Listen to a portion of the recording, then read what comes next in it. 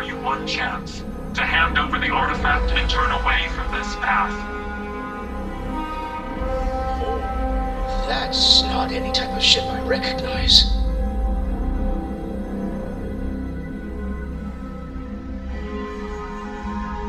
The fact that you do not know says much. We are the Starborn, and you are unworthy to possess the artifacts. Ridiculous. You have no right to dictate what we can or cannot do with the artifacts. Tell us, please. What are the artifacts? What are they for? Did you make them? What gives you more right to them than humanity? Answering your questions is exactly what we cannot allow. Abandon your thirst for knowledge, or drown in it.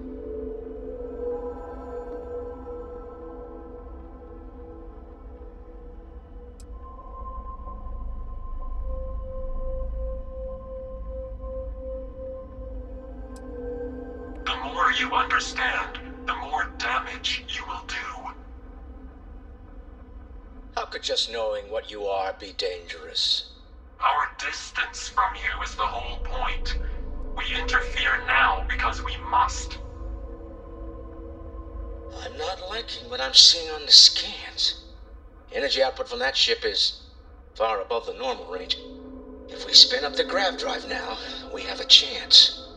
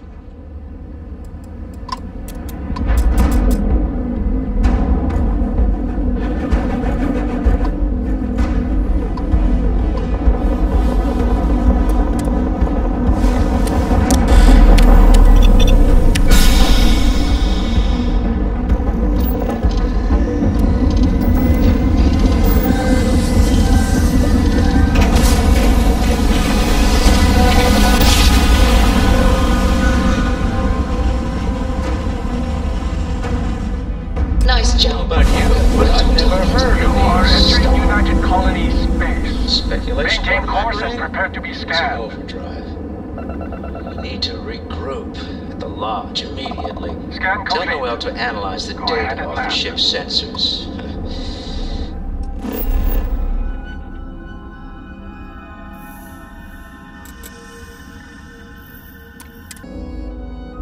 Absolutely. We have much to discuss.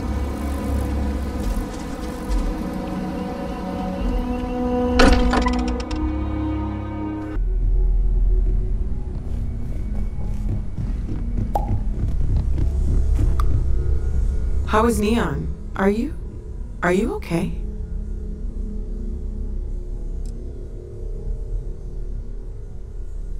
Wait, what happened? Who was after you? Take a look at the ship's sensor data. I think everybody needs to see this.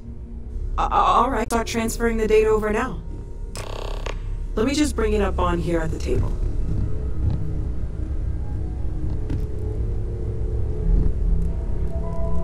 Is that. Is that a prototype? No, that material isn't anything we. What the?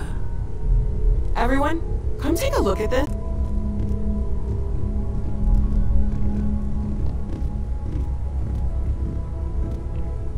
That's no faction vessel or Crimson Fleet. Secret military tech, maybe? Hmm, no United Colonies Admiral approved that starship design. And call themselves the Star. Demanded we hand over the artifact. Like we were children, playing with their parents' things. What do people know? Any offshoot groups go by that name? Not in any corner of the settled systems I've seen.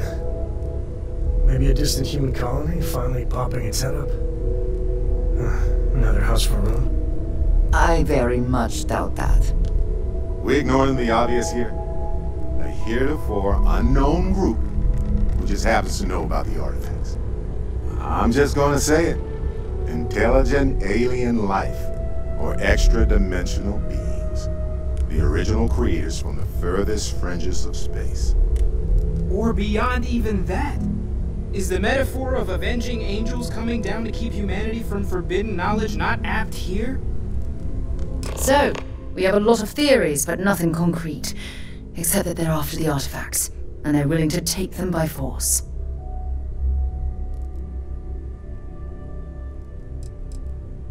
Or what Walter said. They were acting like a parent, worried their children are playing with something they don't understand. So, they're strong arming us for our own good? That doesn't sound very divinely benevolent to me.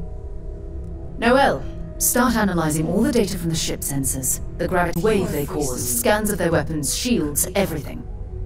We're in the dark. We need to learn anything about them we can, including some way to fight them if necessary. Until then, we stay the course, collect the artifacts. It's even more important now that an intelligence we don't know or understand is looking for them.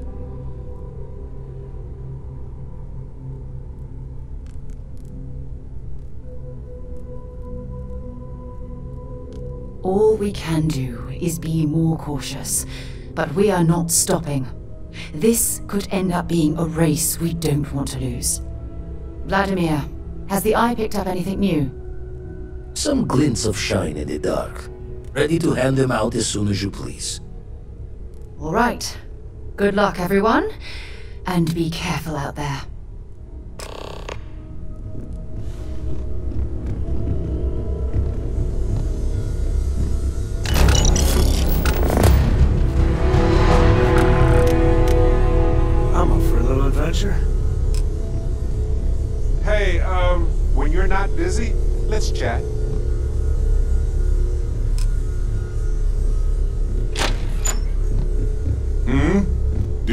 Something?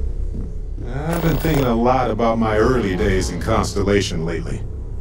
Got me pretty nostalgic, and I started digging in some old things. Just sort of reminiscing. I found some of Irvin's last messages to me and thought I'd listen to them again to hear his voice.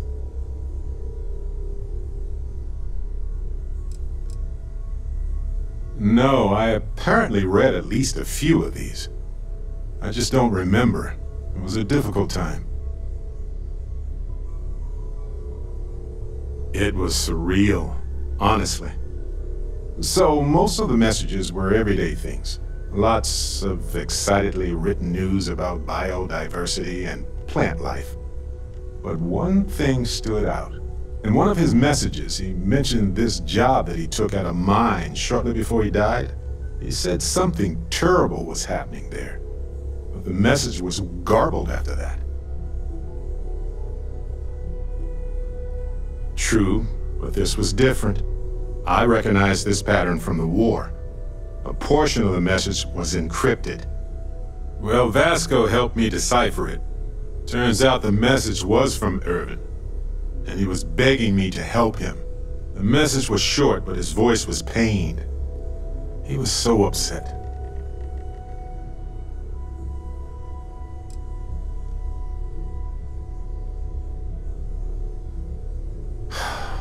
Yes. Hearing his voice in so much pain was very difficult. Oh, I wish I had noticed this message when he sent it. So in this message, Irvin said he was being framed. He said they'll do it again. He asked if Constellation could send more help.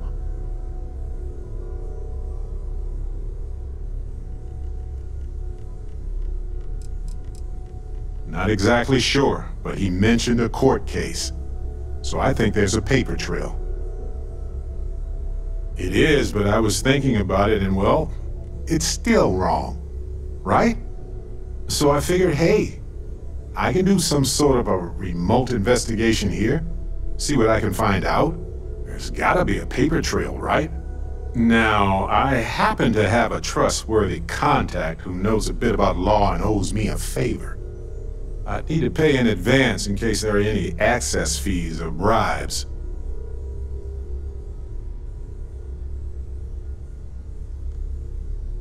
That makes sense. Irvin was one of us, after all. You know, hearing Irvin's voice again made me want to help him. Even though I know I can't. Does that make any sense?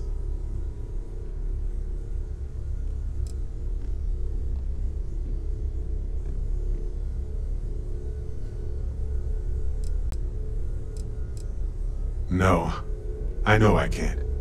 I just don't want whoever hurt him to get away with it. If that's what happened. I appreciate that. It's going to be hard to get some sleep tonight after all this. But the fact that I'm doing something about it might be enough to help. Hopefully poking around in old records doesn't catch the attention of Hephaestus. Well, anyway, I'll let you know if my contact finds anything. I know now isn't the best time. I do not I want to to talk involved. with you later. No, I do not think so. Ah, hello. Hmm? Yes? I look forward to it. Good luck, Andreja. If the concept of luck is something that you believe in, of course. Luck will not be necessary, but thank you just the same.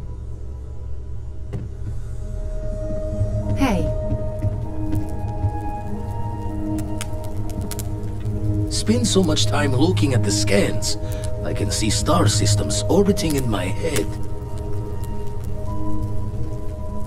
You had a hell of a shake, getting bullied in the void. Starborn sure know how to make an entrance. Ready to head back out there? The Eye can help you find the artifacts, but I'm afraid she's blind to our new competitor.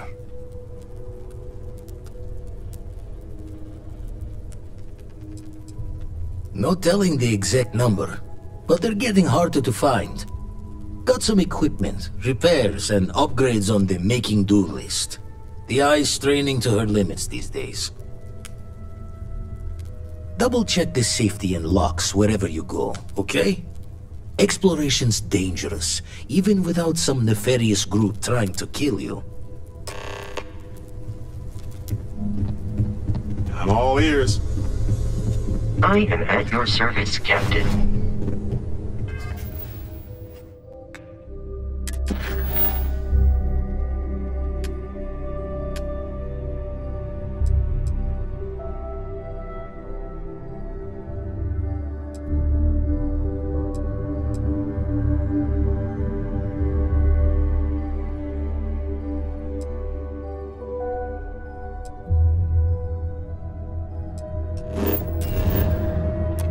I would not mind stopping at the Laredo storefront. I appreciate their craftsmanship.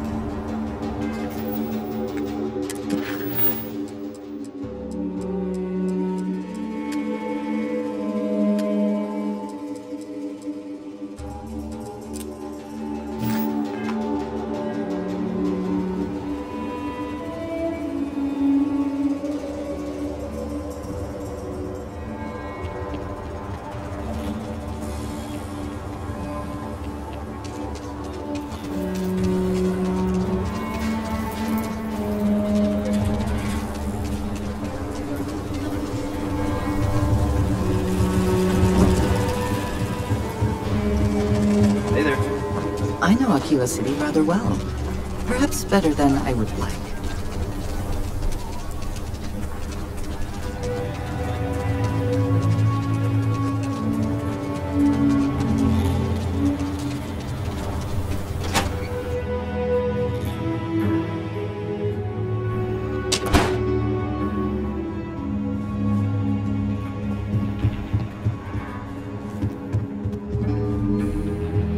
Well, hey there. You're back. How'd it go?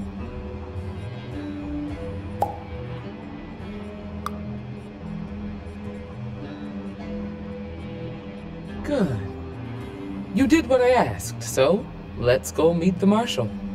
Follow me.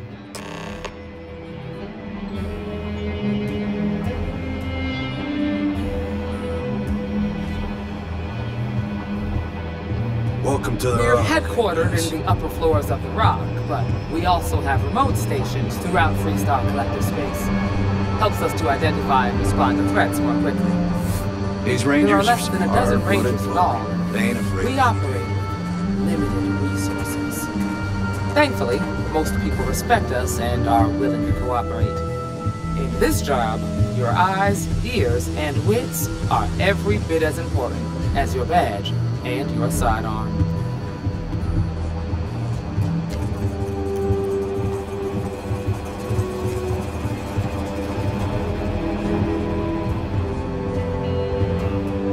Marshall.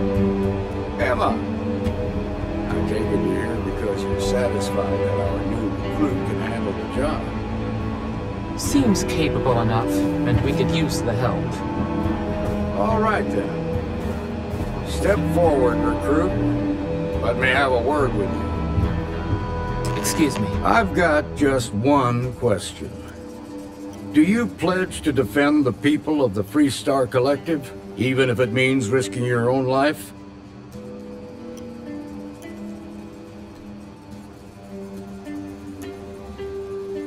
Good.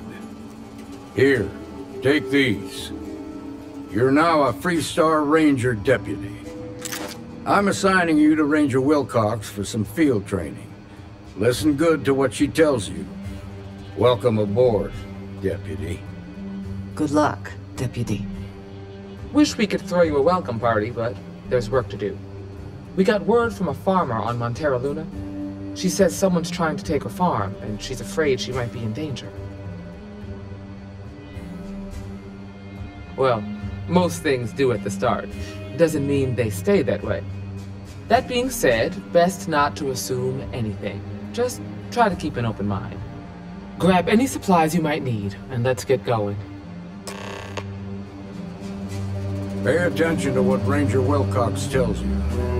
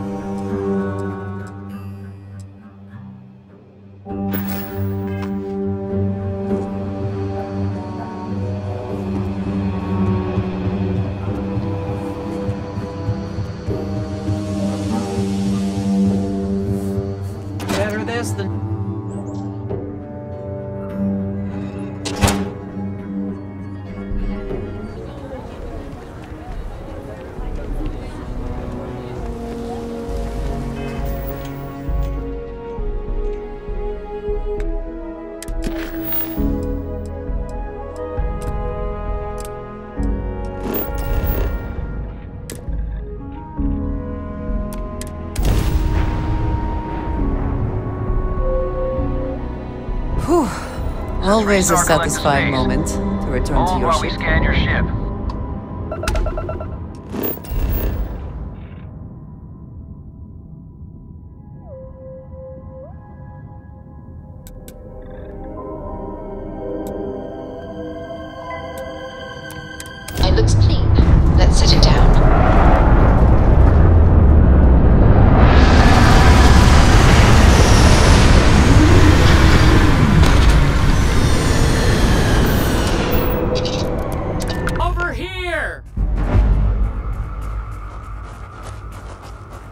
The Freestar Rangers. You have no idea how happy I am to see you. I'm Ranger Emma Wilcox. My deputy and I are here to help. Now, tell us what happened. I was out planting in the fields when I saw some men approaching. They looked like soldiers with uniforms and weapons and such. They wanted to buy the farm. Didn't even ask if it was for sale. Their offer was so low, I told them right where they could stick it. They said they'd give me time to think about it, but if I didn't change my mind, I was gonna regret it. Then they left.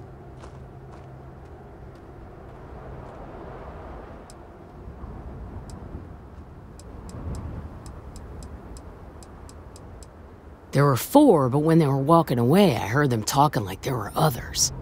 Maybe there's more out there.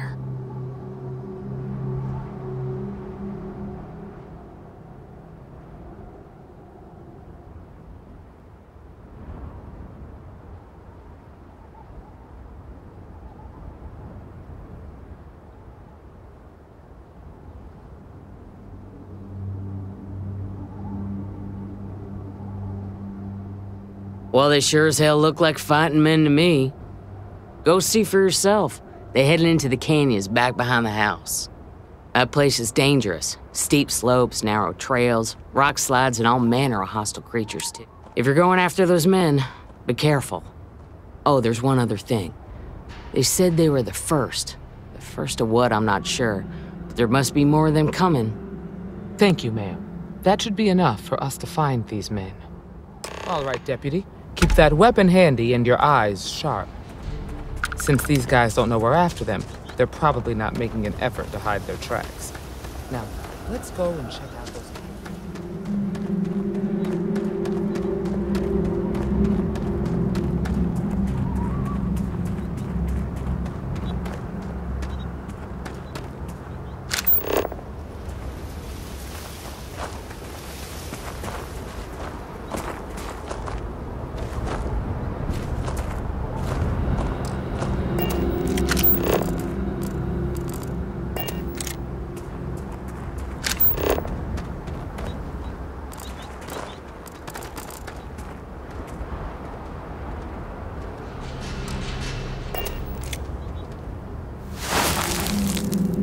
boot tracks. Several pairs by the look. Not too old either. Let's head down into the canyon and see if we can find more. Quiet out here. I like it. Nice change of pace from a killer city.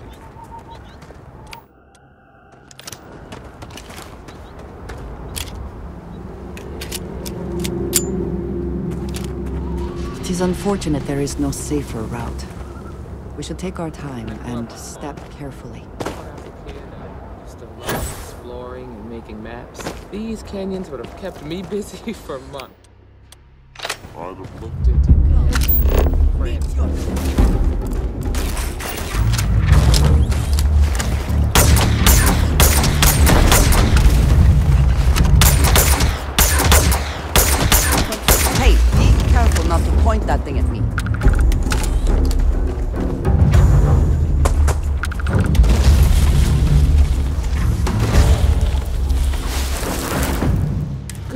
Deputy. Looks like we're heading in